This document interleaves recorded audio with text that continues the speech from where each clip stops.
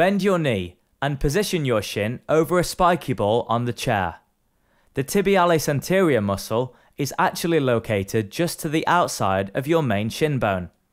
So place the ball specifically on this part of your shin.